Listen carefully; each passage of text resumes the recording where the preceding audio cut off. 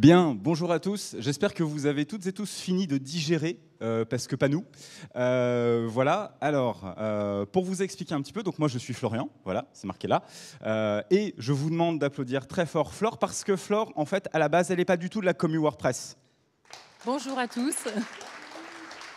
Merci. Donc voilà, et en fait, cette conférence, on a décidé de vous parler du RGPD, mais on s'est dit on a deux options. Soit on commence à sortir en fait euh, les bouquins de droit et on leur fait un truc soporifique pendant 40 minutes, on leur parle de droit, de droit, de droit, de droit. Soit on leur fait un retour d'expérience. Donc on a opté pour la version 2 parce qu'on s'est dit que ce serait peut-être un tout petit peu plus vivant. D'où le nom extrêmement long de cette conférence, comment le RGPD peut influencer, peut influer pardon, le périmètre technique d'un projet web. Et c'est là que Flore va commencer à vous parler de RGPD.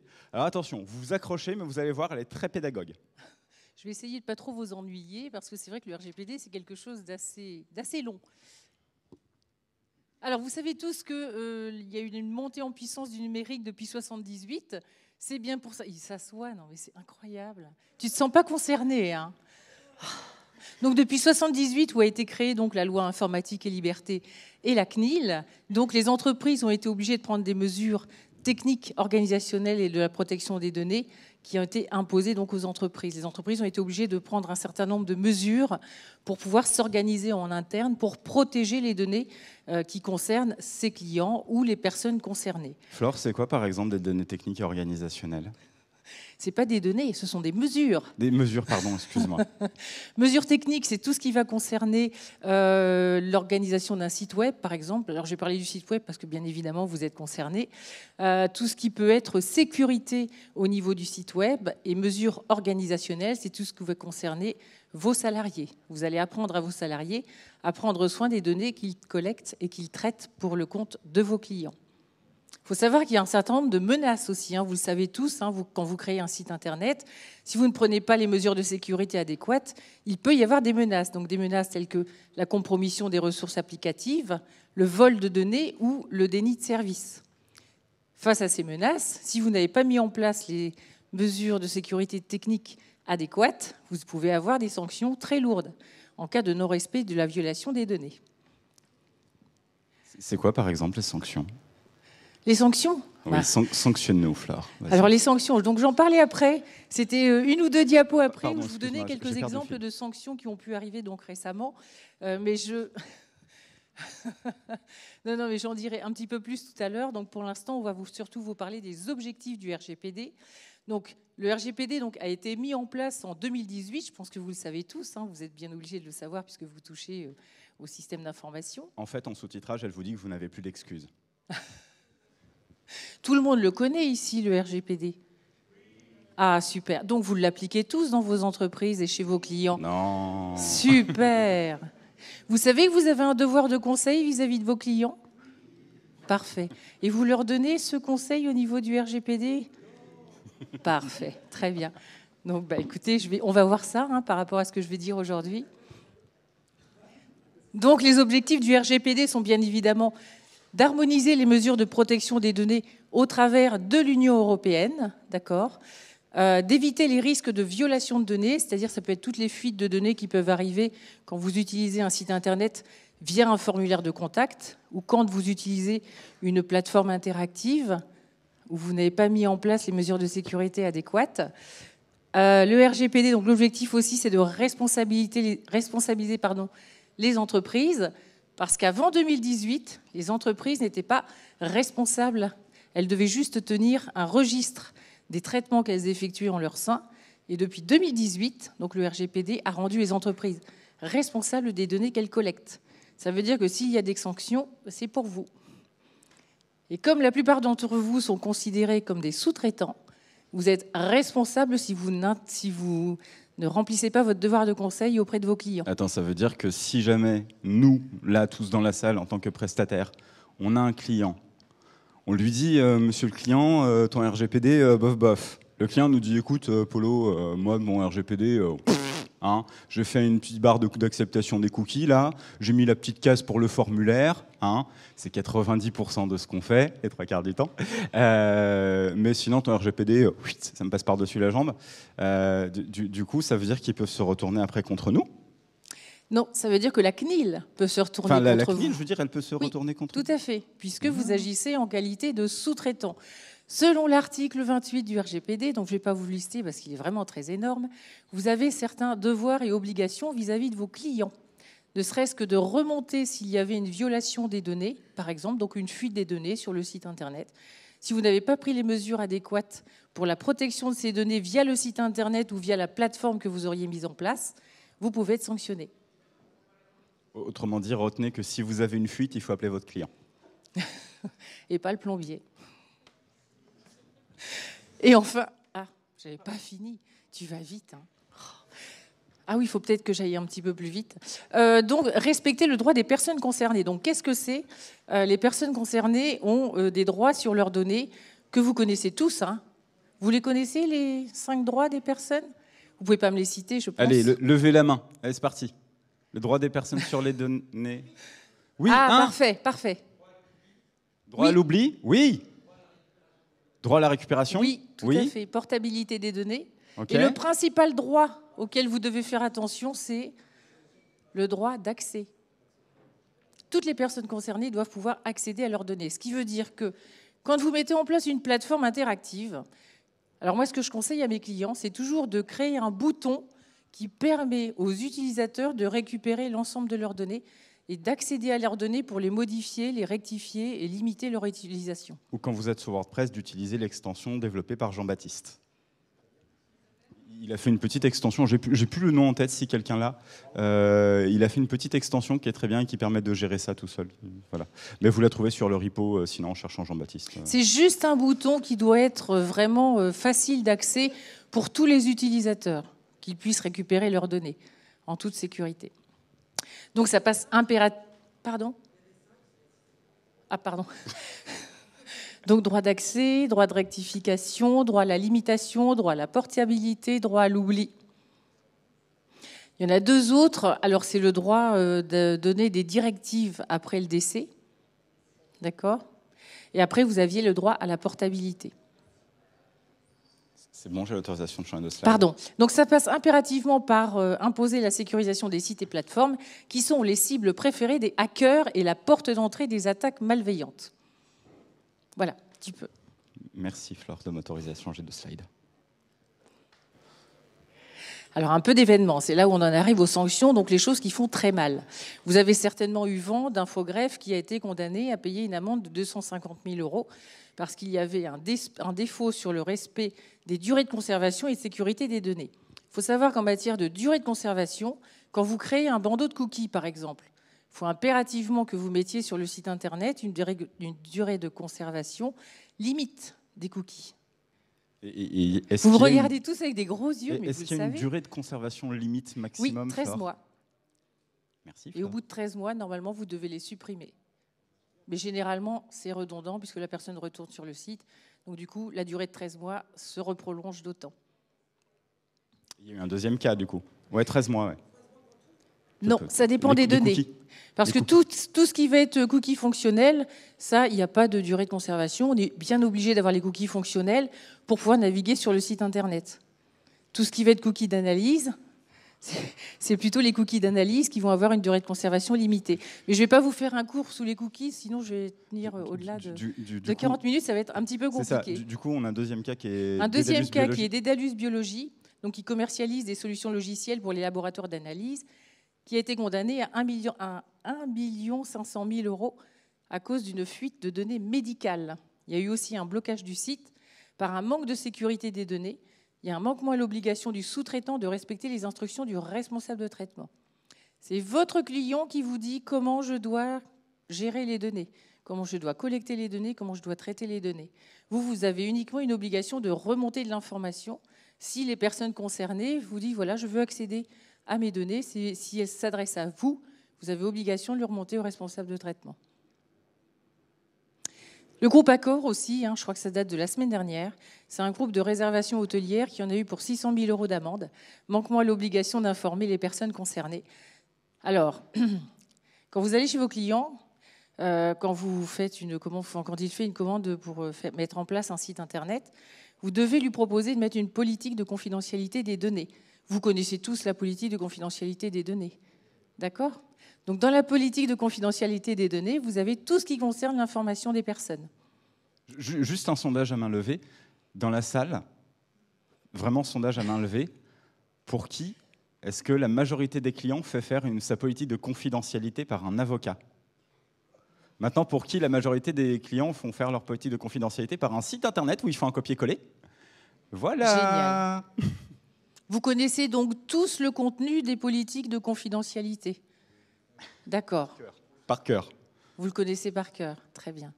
Donc dessus, vous notez comment vous collectez, comment le client collecte des données, les données, comment elles sont conservées, comment elles sont hébergées, d'accord Tout ça. Comment elles sont traitées. Mm. Donc c'est tout ce qu'il faut reprendre. Et dans la politique de confidentialité des données, bien évidemment, vous avez aussi la politique de gestion des cookies où vous expliquez à l'intérieur les cookies que vous mettez sur un site internet pour qu'il fonctionne, d'accord?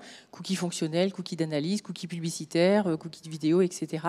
Et vous expliquez aux personnes concernées comment elles peuvent euh, éviter l'utilisation de ces cookies, comment elles vont aller paramétrer leur navigateur pour ne pas euh, avoir de cookies sur leurs ordinateurs. Et, et, et, voilà. Amazon et ensuite, aussi qui s'est fait. Oui, Amazon, Amazon Europe Corps qui a été condamné à 35 millions, millions d'euros d'amende euh, pour non-respect de la législation sur les cookies. Donc là, j'ai parlé que des gros. Pardon, vas-y. Non, je, disais juste, ça picote 35 millions. Ben oui. Je sais pas vous, mais moi, j'ai oublié mon carnet de chèques, perso. Voilà, donc là, ce ne sont que les gros, mais il faut savoir que ça arrive aussi aux plus petits. Hein. Pour vous donner des exemples, euh, il y a deux médecins qui ont été condamnés en septembre 2020 à 3 000 et 6 000 euros pour un défaut de durée de conservation des données. En fait, ils n'avaient pas donné les instructions à leur concepteur de site web euh, pour pouvoir conserver les données. Les durées de conservation n'étaient tout simplement pas respectées en matière de cookies. Alors, c'est moi qui vais parler un peu du coup. Euh, je ne vais pas vous la faire. La majorité d'entre vous savent comment fonctionne un projet web. D'accord? On a le projet de A à Z. On a le recueil du besoin client. Donc évidemment, vous avez le client qui vous appelle, qui vous dit bonjour monsieur, bonjour madame, j'ai besoin de site internet, tout ça, machin. Ok, très bien. On prévoit un rendez-vous, on fait le recueil du besoin, on fait un beau brief. Après, on va faire des ateliers pour rentrer plus en profondeur, vraiment comprendre ce dont le client a besoin, surtout ce dont le client de nos clients ont besoin. L'élaboration du cahier des charges, du plan fonctionnel. Ensuite, on passe en phase de production. Évidemment, il y a toute la phase de planification. Je sautais d'autres trucs. Il y a les phases de recettes, recettes internes, recettes clients, et la mise en production. Évidemment, on l'a vu dans d'autres confs ce matin, ça ne s'arrête pas là, il y a le suivi après le projet. Mais du coup, ben, ça fonctionne en fait pas vraiment tout à fait comme ça. Vous savez, les trois quarts du temps, comment ça fonctionne. Et là, sur le cas client qu'on a eu, en fait, on a eu un truc un peu particulier. D'abord, on nous a dit, oui, il faudrait faire un site euh, vitrine. On a dit, bon, bah, c'est cool, ça va, un site vitrine, euh, tranquille, quoi. Nous, on a fait comme d'habitude. On a fait le bandeau de gestion des cookies. On a paramétré correctement la gestion des cookies. 13 mois, tout ça, machin, Google Analytics. c'est ce qu'il dit. Hein.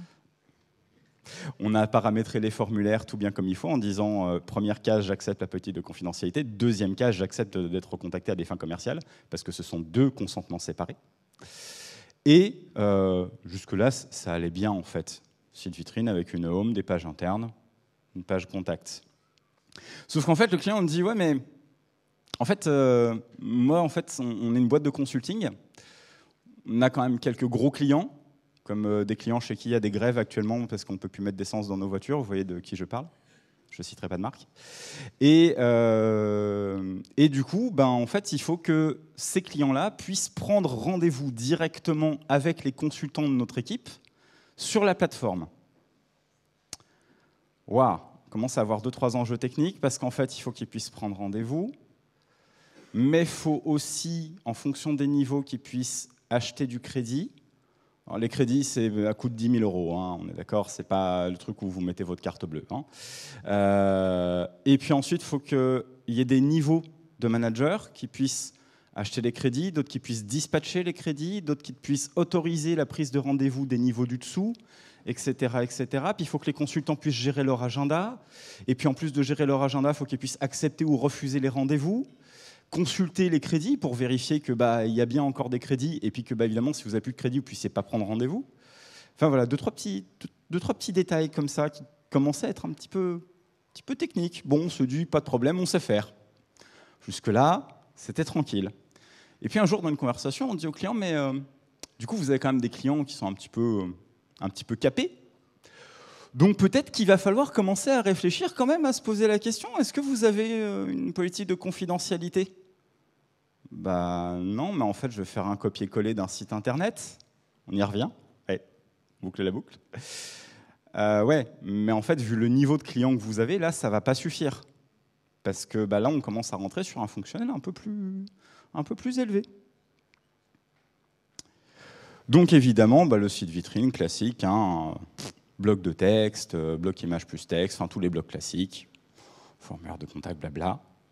Et là, je me suis fait taper dessus. C'est là que ça se corse. Donc un site vitrine, d'accord, il faut prendre un certain nombre de mesures de sécurité, comme je le disais tout à l'heure. Il faut vérifier euh, pas mal de, choses avant de pouvoir le mettre en ligne, euh, notamment vérifier donc la sécurité par le HTTPS par exemple.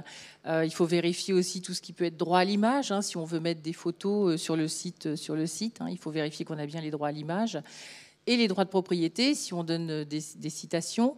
Euh, on va mettre en forme le formulaire de contact. Donc vous savez tous comment le formulaire de contact RGPD doit être? Oui Ah.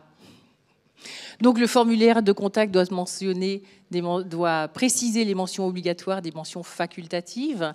Il doit aussi renvoyer une politique de confidentialité. Et on doit même, à cet endroit-là, prévoir une case à cocher si on a l'intention d'envoyer une newsletter. Il faut savoir que toute personne qui souhaite avoir une newsletter doit obligatoirement avoir un acte positif, c'est-à-dire qu'elle doit cocher la case pour recevoir les newsletters. Par contre, vous devrez faire attention à ce qu'elle puisse la décocher aussi facilement qu'elle l'ait cochée. Voilà. Vous avez aussi le bandeau des cookies, euh, dont j'ai parlé tout à l'heure. Vous avez aussi tout ce qui est gestion des consentements. D'accord? Donc là, c'est euh, par rapport euh, à l'acceptation des cookies sur les ordinateurs. la politique de gestion des cookies, dont je vous ai parlé tout à l'heure, et ces fameuses mentions légales. Je pense que tous vous proposez des mentions légales à vos clients lorsque vous faites un site internet? Rédigé par un avocat, évidemment. Et vous connaissez le contenu obligatoire des mentions légales? Vous savez que vous pouvez être, votre client peut être condamné à 75 000 euros d'amende s'il n'a pas de mention légale. Et ça, c'est votre devoir de conseil. Donc l'hébergeur, sur les mentions légales, l'hébergeur avec le numéro voilà. Pareil pour l'éditeur. tu peux refaire la liste dans le micro pour la captation, s'il te plaît. Pareil pour l'éditeur. Donc l'éditeur, ça va être le siège social, le montant, euh, pas l'éditeur, oui l'éditeur tout à fait, le siège social, euh, le numéro d'RCS, le numéro de TVA et euh, une adresse de contact ou soit un numéro de téléphone. Après, si vous êtes dans le cadre d'une profession réglementée, vous avez aussi le numéro de la profession réglementée à mettre. Donc ça, faut y penser. Ça vous arrive certainement quelquefois de faire un site internet pour un avocat ou pour un médecin ou voilà ou même un expert comptable. Donc là, profession réglementée, vous devez mettre le numéro de la profession réglementée. Et après, tout ce qui est droit de propriété intellectuelle avec les références INPI euh, pour la protection des marques. Alors bon, pour l'espace, euh, pour l'espace client, on a un fonctionnement en silo. Et en fait, vous l'aurez compris, le cabinet de consulting qui était notre client à nous, agence, il n'a pas qu'un seul client qui fabrique euh, le truc qu'on met dans les voitures et chez qui il y a des grèves en ce moment. Il a d'autres clients. Sauf qu'évidemment, bah, il faut une étanchéité totale entre les données du client A, les données du client B. Parce que euh, bah, forcément, si vous prenez l'entreprise A et l'entreprise B, il ne faut pas qu'il y ait de, bazar qui se mélange. Donc ça, c'est bon. Et du coup, périmètre technique, bah, il faut absolument en fait que euh, le manager de l'entreprise A ne puisse voir que les subordonnés, euh, j'aime pas ce mot mais j'en ai pas trouvé d'autres, euh, de l'entreprise A et les gens de l'entreprise B de l'entreprise B. Jusque-là, tout va bien. Et les consultants et administrateurs, pareil, ils peuvent voir en fait tous les profils, c'est-à-dire que de leur côté, bah, notre client, enfin on va dire le responsable de, la société qui est notre client, lui a un accès administrateur, donc lui, il peut aller se balader partout, il hein, n'y a pas de problème, jusqu'à toi bien. Et euh, les consultants, eux, ils peuvent voir toutes les personnes inscrites sur la plateforme. Du coup, on a quand même toute une partie où il faut siloter les données d'un côté, mais les décloisonner de l'autre. Bon, là on commence à bien s'amuser. Et, c'est là que je me suis encore fait tirer les oreilles. oui, c'est vrai, c'est là qu'on s'amuse. Donc généralement, quand vous mettez en place une plateforme, vous mettez des conditions générales d'utilisation. Chaque personne doit savoir comment elle utilise la, la plateforme. Vous en mettez, je suppose, tous des conditions générales d'utilisation quand vous créez une plateforme. Vous expliquez le pourquoi du comment, vous expliquez ce que l'utilisateur ne doit pas faire, et vous donnez surtout une définition de chaque terme que vous allez utiliser dans, la, dans les conditions générales d'utilisation. Évidemment. Voilà. Donc il y a aussi une politique de protection des données qui est généralement très similaire à celle qui existe déjà pour le site internet du même client. D'accord? Donc la politique de protection des données, c'est se poser les questions qui, quoi, pardon, quoi, qui, où, comment et quand. Et tout ça par rapport aux données. Qu'est-ce que je collecte comme données? Qui collecte les données? Où je vais mettre mes données? D'accord? Comment je vais les traiter? Et quand je vais pouvoir les détruire? Vous devez informer les personnes concernées du sort des données qu'elles vous confient, parce que je vous le dis, elles ne vous appartiennent pas. Même si c'est la richesse d'une entreprise, les données qu'on vous confie ne vous appartiennent pas. Et alors, pour, vous expliquer un petit peu, quand on a fait la première réunion sur euh, la protection des données, et qu'on est arrivé sur la partie CGU, conditions générales d'utilisation, en fait, pour, faire ça, il a fallu faire un schéma. Alors, je ne vous l'ai pas mis parce qu'on n'avait pas fait de photo à l'époque de ce schéma, mais euh, ça a fait un truc avec une patate là, une patate là, une patate là, une patate là, et des flèches qui partent dans tous les sens. Voilà. Donc, autant vous dire que ça, c'est de l'arrachage de cheveux pur et simple, et c'est une vraie joie euh, à gérer. Et sur l'espace client, du coup, on s'est retrouvé avec nos cinq profils d'utilisateurs administrateurs, consultants, client responsable du compte entreprise, client mid-manager et client d'utilisateur restreint. Je lui ai encore tapé sur les doigts. Parce que pour avoir tous ces, ces cinq utilisations possibles, on devait déterminer les rôles de chacun, d'accord? Déterminer aussi les accès que chacun pouvait avoir. Ce qui veut dire gérer les habilitations, qui a le droit de faire quoi, et donc, on gère les habilitations selon les missions ou les tâches de la personne dans l'entreprise. Je vous donne un exemple tout bête. Euh, un, salarié ne va pas aller accéder à un dossier RH, par exemple. C'est un exemple tout bête.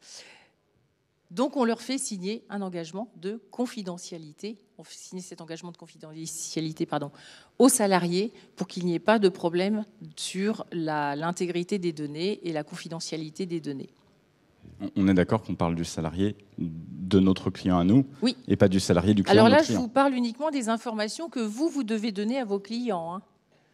D'accord Dans la conception du site web et des plateformes. Hein. Ça, c'est vraiment des, informations que vous devez lui donner.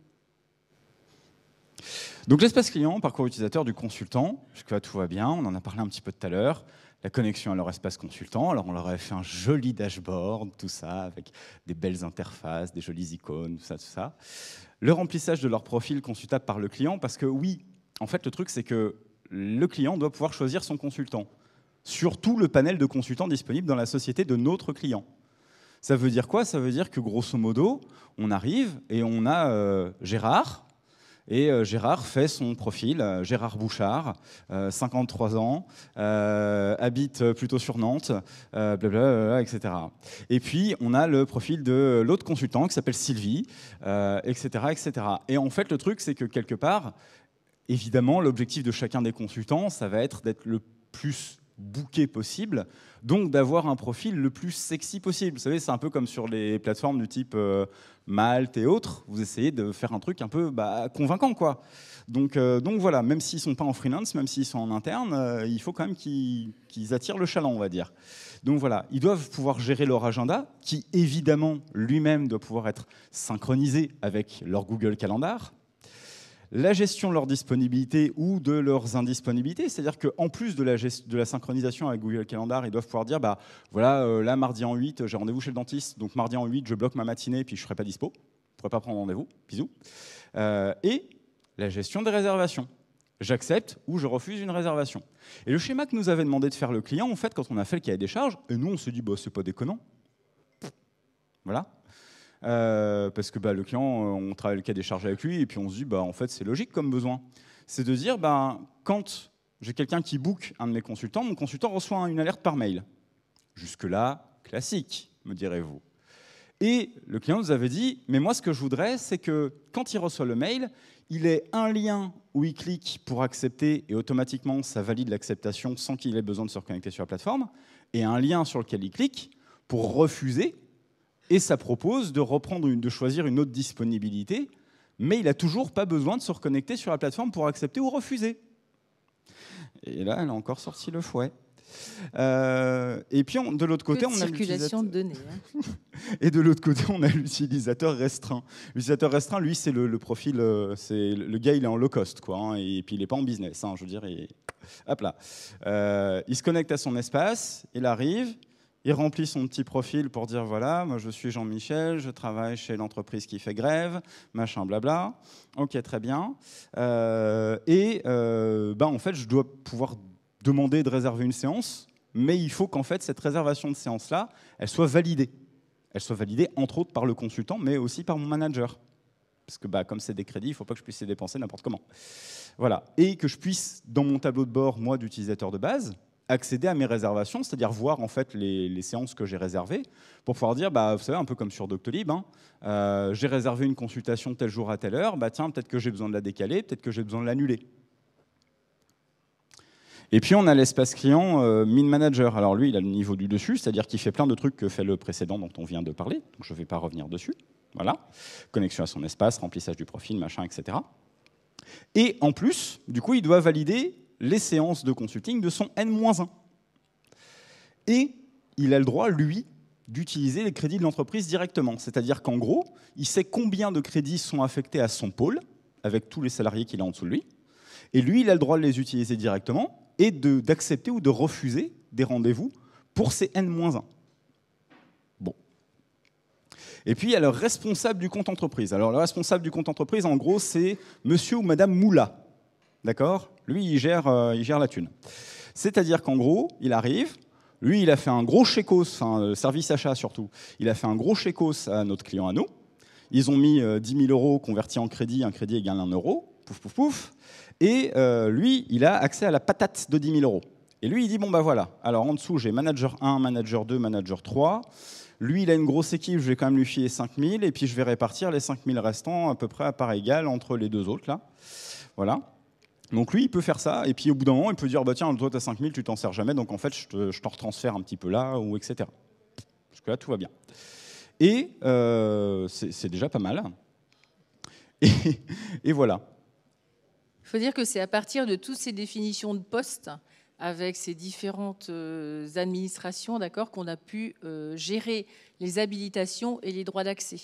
On a vraiment besoin de connaître euh, l'intégralité des tâches de chacun pour pouvoir dire voilà, vous avez le droit d'accéder à telle ou telle brique sur la plateforme. Donc là, on y arrive à l'alerte sur l'espace client. Donc il faut avoir un mot de passe suffisamment complexe euh, aujourd'hui, c'est vrai que euh, la CNIL réfléchit toujours euh, sur des mots de passe de plus en plus complexes parce que ça devient de plus en plus facile pour les hackers de, voler les mots de passe. on, en arrive vraiment à des suites alphanumériques avec des caractères spéciaux, parfois qui font au moins une quinzaine de caractères. Donc ça devient parfois extrêmement compliqué, mais généralement ces mots de passe-là sont utilisés dans le cadre de données sensibles, donc tout ce qui peut être données, données de santé, pardon, données d'infraction aussi, par exemple. Euh, ensuite, si on a des profils consultants et des profils utilisateurs, il faut qu'ils soient restreints et il faut collecter juste ce qu'il faut. Ça, c'est vraiment imposé par la CNIL, ne, ne collectez jamais plus de données que ce qui est nécessaire. Et enfin, on autorise la portabilité des données sur une plateforme. C'est ce dont je vous parlais tout à l'heure avec le fameux bouton que vous ajoutez pour que euh, la personne puisse récupérer ses données intégralement. Par exemple, petit exemple, sur le formulaire pour venir au WordCamp, vous avez toutes et tous indiqué votre taille de t-shirt. Mais nous n'avons pas de t-shirt au WordCamp. C'était une donnée non nécessaire. Était-ce vraiment bien compatible par rapport au RGPD Exactement.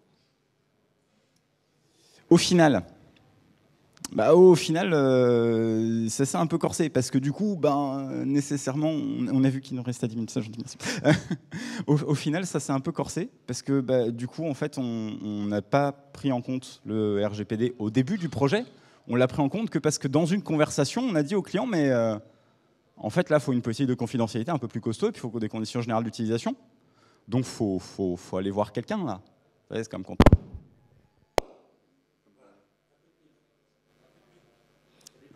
C'est comme quand vous n'allez pas hyper, hyper bien, on vous dit il faut aller voir quelqu'un. Bah, là, pareil, on lui a dit il faut aller voir quelqu'un. Il faut vous faire suivre. Euh, et du coup, euh, bah nécessairement. Je suis arrivé. C'est ça, comme Zoro. euh, et du coup, bah, ça a été pris en compte en cours de projet. Donc, voilà. qu'est-ce qui s'est passé? Bah, Il s'est passé qu'on a dû revoir le périmètre technique parce que, par exemple, le coup de je te valide ou je te pas valide le rendez-vous dans le mail sans me reconnecter à la plateforme, ça c'est pas bon parce que Madame RGPD, qu'est-ce qu'elle a dit? Tirage d'oreille, la donnée ne doit pas transiter à l'extérieur de la plateforme. Exactement. Donc en fait, qu'est-ce qu'il aurait Il fallu a... faire théoriquement, si je me souviens bien, c'est qu'il aurait fallu juste dire au consultant, vous avez une demande de rendez-vous, connectez-vous à la plateforme. Tout à fait. J'ai retenu les trucs. Tout, devait se faire au travers de la plateforme et pas en envoyant systématiquement un mail avec de nouvelles données à l'intérieur. Du coup, bah, comme on a revu le périmètre technique, bah, forcément, on a repassé du temps, sauf que c'est un peu compliqué de justifier au client, de lui expliquer que, bah, parce qu'en fait, nous-mêmes, on ne savait pas qu'au niveau RGPD, ce serait aussi complexe que ça. Bah, il allait falloir revoir la moitié du périmètre du projet et que donc, bah, il allait falloir euh, lâcher encore plus d'argent. Et plus donc, de temps. Du coup, bah, on a un peu renié nos marges. Parce que bon, bah, on se sentait un peu pété aussi quand même, hein, faut être honnête. Parce que bah, on s'est dit, bah, on s'est planté là-dessus. C'est voilà, faut avoir l'honnêteté de le dire. On s'est planté. On a dit, bah ouais, en fait, il aurait fallu dès le début dire, ah, RGPD. Mais on l'a pas fait. Donc du coup, on a diminué nos marges. Il y a encore des conséquences. Alors il y a toujours des conséquences, bien évidemment. Hein. La notoriété du client qui, devient euh, difficile à avoir si le site internet n'est pas conforme les personnes, enfin les clients auront plus de mal à vouloir se connecter sur un site en lequel ils n'ont pas confiance que sur un site qui est, qui est, bien conforme au RGPD. On a toujours une exposition aux menaces si on n'a pas pris les mesures de sécurité adéquates par rapport aux données traitées. Donc je rappelle toujours qu'il y a une différence entre traiter de la donnée courante et traiter des catégories de données particulières comme les données de santé ou euh, autres religieuses, philosophiques, etc. Je vous les passe. Et enfin, on est toujours, du coup, un site moins responsable. Du coup, comment est-ce qu'on aurait pu faire autrement? Bah, En fait, le schéma idéal, ça aurait été de se dire, on fait le recueil du besoin, le brief, les ateliers, et après avoir fait les ateliers et le brief, pour savoir où est-ce qu'on veut aller, dire, bah là, on fait une petite pause, on fait la concertation avec un expert en protection des données, la dame là, par exemple. Et puis ensuite, du coup, on élabore toute la partie fonctionnelle. Et ensuite, seulement, on passe au développement, en accord avec cette partie fonctionnelle, précédemment validée sur la partie légale. Voilà. Donc du coup, on a mis en place ce qu'on appelle les quatre règles d'hygiène. Donc tout ce que j'ai rappelé, tout ce que j'ai dit, tout ce que j'ai dit plus haut. Euh, donc la sécurité des sites et applications web à prendre en compte dès le début, bien évidemment. L'intégrité du comportement de l'application côté client, hein, que les données soient toujours protégées configurer l'infrastructure d'hébergement, donc faire toujours attention à avoir un hébergement, si possible, dans l'Union européenne, dans le meilleur des cas, et quand on traite des données sensibles, d'avoir un hébergement HDS, donc euh, hébergement de données de santé, euh, permettre de détecter les vulnérabilités et les attaques éventuelles. Généralement, on fait des audits euh, où on peut faire des tests d'intrusion. Ce que je veux dire par là, c'est qu'un site web, la CNIL peut venir sur le site web que vous avez fait, par exemple, et se faire passer pour un utilisateur, mais euh, s'enregistrer, etc. Et du coup, vous recevez une sanction euh, directement euh, dans votre boîte mail en disant votre site n'est pas conforme et on vous met en demeure de le mettre en conformité. Il faut savoir que ça peut venir par tous les bouts. Bon, je peux. Merci. Vas-y, Flore, mais. Alors, pour vos clients. Pour vos clients, soyez vous-même conforme au RGPD, donc oui, fatalement. Donc et oui, au regard du RGPD, suivant le cas, vous serez responsable de traitement, c'est-à-dire que vous, c'est vous qui définissez les traitements. Vous pouvez être sous-traitant, c'est-à-dire que vous, que vous euh, collectez les données pour le compte de vos clients, ou encore co-responsable de traitement, ça veut dire que vous mettez en œuvre les finalités et les moyens du traitement avec votre client. Et vous avez des obligations d'information et un devoir de conseil surtout une petite phrase que j'aime bien. Donc, si vous ne prenez pas soin de vos clients, votre concurrent le fera. Et on sait tous que ça pique quand c'est un concurrent qui s'en occupe. Voilà. Donc merci beaucoup pour votre écoute. Donc, euh, Exactement. Je suis Flore Châtelet. Du, du, coup, je vais me permettre de présenter cette grande dame. Il s'agit de Madame Flore Châtelet, qui est fondatrice de la société Aporia, spécialiste en réglementation générale à la protection des données et en droit de la protection des données, euh, qui a aussi fondé un outil qui s'appelle Mon Audit RGPD, et vous avez les deux liens en dessous. Voilà. Et, et vous pouvez flasher son QR code. Vous pouvez, fla vous pouvez flasher pour cette dame. Voilà. Et euh, moi, je suis Florian Chambol, donc je suis cofondateur de l'agence 810, avec mon associé Estelle qui est dans la salle. On a aussi fondé euh, un, aussi créé une marque qui s'appelle Forti, qui est à destination des startups, voilà, qui les, qui les accompagne sur l'accélération de leur go-to-market. Et vous avez, euh, pareil, les, les liens euh, ici présents. Voilà. Merci beaucoup. Et on est dans les temps. Hell yeah. Cette gestion du temps, Nickel. je crois qu'on sera en 2006, on pourrait daber. Merci Florian en tout cas. Une question. Donc, tout à l'heure, vous avez parlé, euh, le client envoie, euh, enfin, reçoit euh, une confirmation pour annuler ou confirmer un, rendez-vous. En quoi des données personnelles transitent dans ce mail Puisqu'en fait, ce n'est qu'une. Il n'y a pas vraiment de données euh, réelles, c'est juste une confirmation ou une, ou une infirmation du rendez-vous. Moi, j'ai ce système-là sur un, sur un de mes sites où il y a des prises de rendez-vous en ligne. C'est juste un lien de confirmation. J'ai juste les informations de telle heure, le nom, le prénom. Mais le nom, le prénom, Données la personne et la donnée personnelle, la personne est informée que lorsqu'elle clique, les données sont transmises à la société dans le cadre de la gestion commerciale ou de prestation de services. Donc ça, on est parfaitement informé, mais mon lien ne contient en aucun cas une transmission des données personnelles. Alors que vous, tout à l'heure, vous parliez du cas où ben, il y a une donnée personnelle qui est transmise. J'ai pas trop compris le. Bah, Ça peut, il peut exister de- de- des données personnelles, bien évidemment, qui seraient transmises. Après, le RGPD, c'est un processus global. Ça veut dire que vous passez en premier lieu par l'information de la personne. D'accord? Vous allez lui, vous l'informez que vous allez lui envoyer un mail. Donc, vous utilisez non seulement son nom, prénom, mais vous utilisez aussi son adresse mail. Elle peut être nominative, qui est aussi une donnée personnelle. Donc, il faut vraiment qu'elle soit informée de ce qu'elle va recevoir. Donc, il faut bien faire attention à chaque fois de faire l'information globale sur le mail qui est prévu d'être envoyé par la suite. Et en fait, le point, c'est que ce que dit le RGPD, c'est que euh, globalement, moins la donnée transite, mieux c'est. C'est-à-dire qu'il vaut mieux un simple mail qui te dit euh, il faut que tu te connectes à la plateforme parce qu'il y a quelqu'un qui a voulu prendre un rendez-vous et il faut lui dire si oui ou non tu peux, que euh, de refaire transi- faire transiter la donnée dans un mail, puis la refaire transiter dans l'autre sens pour qu'elle aille et sur la plateforme et chez l'utilisateur final.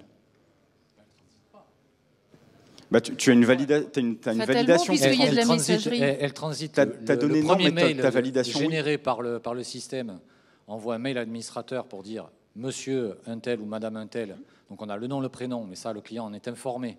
Son numéro de téléphone éventuel, s'il a aussi, il y a un texto qui peut être envoyé. Dans les deux cas, comme je vous l'ai dit, le, client est parfaitement informé des données qui vont être transmises. Mais à partir du moment où on accepte via le lien codé qui est donné, qui est généré, euh, il n'y a pas de transmission. C'est juste euh, le système reçoit la confirmation du rendez-vous, admettons. Il va donc générer un mail au Ah bah si client pour lui dire c'est accepté et générer un autre mail à l'administrateur pour lui dire vous avez confirmé. Alors, le point commun entre ça, c'est soit l'adresse mail ou soit l'identifiant de celui qui a pris le rendez-vous. Oui, il y a un point commun. Voilà. Oui, bien sûr, il y a un Et point en commun. fait, la du coup, la donnée, elle transite via le mail, donc via Outlook ou n'importe quelle boîte mail. D'accord. Donc il y a bien une donnée qui transite. oui, il y a bien une donnée qui transite, mais si, elle est- si elle- le client en est Ah, bien mais après, si le informé, client est informé, bien sûr, il n'y a, pas de voilà, il y a pas difficulté. de- Après, ça va au-delà, en fait. Le client, il peut tout à fait être informé que sa donnée, enfin, qu'on va lui adresser un mail pour confirmer son rendez-vous. Oui, voilà. Et là, il faut faire attention que ce soit sécurisé. Mais après, vous ne pouvez pas être maître de la sécurité de la Ah messagerie. C'est là où, ex- où existe toute la difficulté. Donc vous, en votre qualité de sous-traitant, il faut que vous fassiez prendre à la donnée le moins de risques possible. Rien que le fait de dire on va envoyer un mail au destinataire pour qu'il puisse confirmer son rendez-vous, c'est déjà un risque, en fait. D'accord? Puisque ça, c'est le cheminement que vous proposez à la donnée. D'accord? Alors peut-être qu'il y a une meilleure solution où en effet l'utilisateur aurait quelque chose de plutôt euh, anonyme, euh, où il aurait juste besoin de cliquer dessus pour se rendre sur la plateforme pour valider son rendez-vous. Vous voyez, il faut, faut peut-être prendre les choses de l'autre côté. En fait, votre devoir à vous, c'est de faire prendre le moins de risques possible à la donnée. D'accord? Surtout la donnée de votre client, en l'occurrence. Donc on pense qu'un accès à la plateforme directement serait plus judicieux que l'envoi d'un mail où transite une donnée. Voilà. Est-ce que j'ai été claire? Merci. Bonjour. On va se faire troller. Euh, non, je ne suis pas comme ça, moi. Euh, non, c'était pour savoir euh, comment on se protège, nous, entre en, en, tant que prestataire, pour ne pas avoir de problème avec la CNIL de nos clients. Pour ne pas avoir de problème, justement, que ça ne nous retombe pas sur la figure. Être conforme au RGPD. Non, non, non, mais c'est vous-même avoir les mesures de sécurité qui sont euh, euh, le BABA, hein, euh, votre site internet conforme, une politique de confidentialité, qu'il y ait un engagement de confidentialité vis-à-vis de vos salariés, après tout dépend combien vous êtes, avoir des profils d'habilitation qui sont bien gérés dans l'entreprise, avoir des profils de enfin des, pardon, des procédures de suppression des données, puisque vous ne pouvez pas conserver les données de vos clients indéfiniment, d'accord? Donc c'est ce qu'on appelle la procédure d'archivage. Et en fait, c'est tout ce que vous devez mettre en place au sein de vos entreprises, justement, pour vous-même être conforme. Il faut savoir qu'aujourd'hui, euh, le fait de ne pas être conforme euh, risque, par exemple, de ne pas vous faire remporter certains marchés publics. Parce qu'il y a des marchés publics, on vous oblige d'être conforme au RGPD. Moi, moi j'ai compris la question en tant que prestataire. Je fais un site pour quelqu'un, pour un client. J'ai un devoir d'informer mon client de lui dire tu dois avoir une page de mention légale, mais s'il ne me la fournit pas.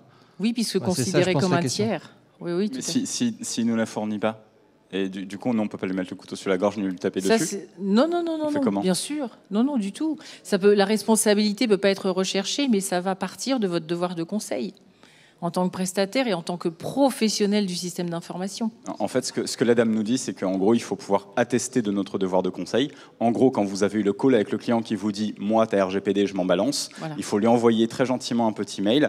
Comme vu lors de notre rendez-vous, je vous ai informé que blablabla, bla, bla, bla, bla, vous laissez une trace écrite gentiment et poliment, et si le client ne vous répond pas et qu'il ne fait rien, c'est sa responsabilité. Vous, vous vous êtes dégagé de toute responsabilité légale vis-à-vis de ça. Pour, pour la faire courte. Exactement. Coucou. Là, là, on va se faire trop les sacs. Euh, merci pour cet hommage à l'émission C'est pas sorcier. En mode euh, le RGPD, Jamy, comment ça marche et tout, même si Florian était un peu en dessous, c'était très bien, Flore. et la question s'adresse à Florian. Euh, ouais, monsieur Bâtard. La, question s'adresse à Florian. Tu nous expliques que par rapport à ton client, vu que tu avais été un petit peu en dessous par rapport au RGPD, tu t'es assis sur ta marge ce qui est Alors, On ne s'est pas complètement assis, mais on, a fait un effort. voilà, tu as fait un effort. Qu'est-ce que tu as fait de tes clients précédents?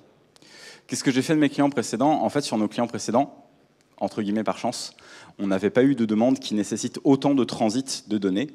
Donc, on avait eu la chance d'avoir soit des clients qui, effectivement, étaient assez capés en interne pour pouvoir avoir un service juridique qui, lui, a rédigé tout ce qu'il fallait et nous ont fourni tout ce qui allait bien, soit avoir des clients qui euh, nous ont dit bah, nous, le RGPD, on s'en balance par écrit et euh, on va aller prendre euh, une politique de confidentialité et des mentions légales sur un site tout fait. Et, et, du coup, on a dit bon bah ok très bien, nous on a fait notre devoir de conseil. À partir de là, ben, ma foi, tu veux pas nous écouter, c'est pas grave. Après, on a d'autres clients qu'on a aussi envoyés à Poria euh, en disant, bah voilà, là, vous avez une vraie nécessité, donc par contre, euh, au lieu de vous embêter, vu que vous n'avez pas encore de cabinet juridique externe, mais que vous faites plusieurs millions d'euros par, enfin interne, mais que vous faites plusieurs millions d'euros par an, allez voir euh, la dame là-bas. Voilà. Et la dame là-bas les a très bien conseillés. Une dernière micro-question. Micro-question promis. Euh, c'est quoi la diff entre une politique de confidentialité et une politique de protection des données personnelles? C'est pareil? C'est plus global? Qu'est-ce que oui, oui, oui, c'est la même chose. C'est le nom qui diffère. voilà. Quelquefois sur les sites, on a politique de confidentialité ou d'autres fois, on a politique de protection des données. Il y a même certains sites qui mettent directement tout dans les mentions légales. Ils mettent même leur mention légale, d'accord? Il y en a qui mélangent euh, conditions générales d'utilisation et puis protection des données en même temps. En fait, le principal, vraiment, ce que je peux vous conseiller, c'est d'avoir une information claire et précise. Elle doit pouvoir être lue par des enfants de 10 ans et lue et comprise. Donc une information claire, précise. Ça, c'est vraiment très, très important. Merci beaucoup. Merci à merci, tous. Merci.